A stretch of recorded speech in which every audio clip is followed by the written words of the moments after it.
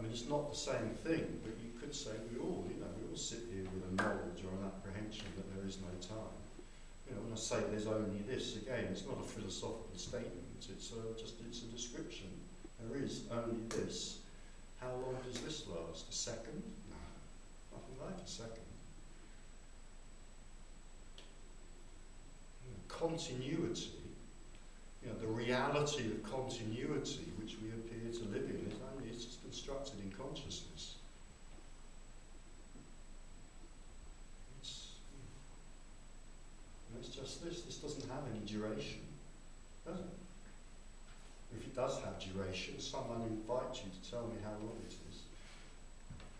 Actually, this is only a metaphor, but I find this interesting. I mean, like many people, I mean, what, what's happening in science at the moment It's kind of fascinating. There's all sorts of things in neuroscience that are saying there is no person, there is no choice, there is no possibility of free will.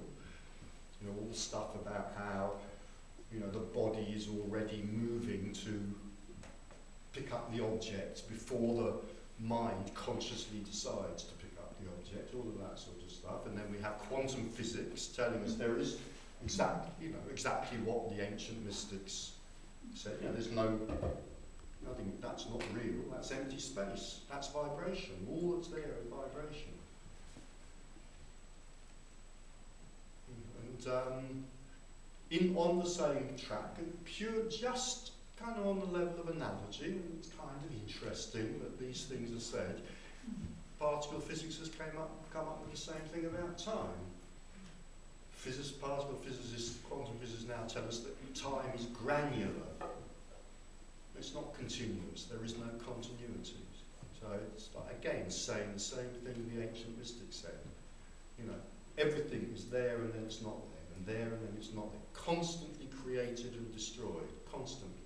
A little bit too fast for the eye to see. A little bit too fast. Particle physics says the same thing now.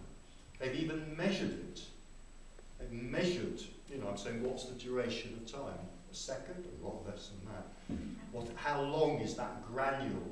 So time is like a string of grains of sand. How, how big is um, each one of those grains of sand? Well, particle physicists have measured it and they call it Planck time in honour of whoever discovered this. And I can't remember how long Time is but it's very, very, very short indeed. There's a decimal point and a lot of noughts after. That's just an analogy.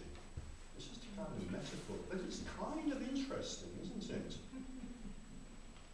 You know, that we're coming to the same place through science as we come to through mysticism.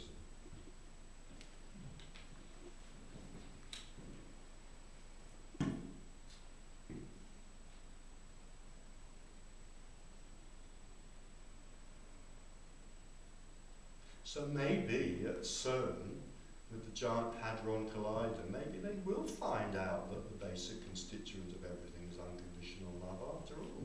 Who knows? I claim that they won't, but who knows? Perhaps they will. Perhaps instead of announcing the Higgs boson, they'll announce unconditional love. no, you don't think so? No, I don't think so.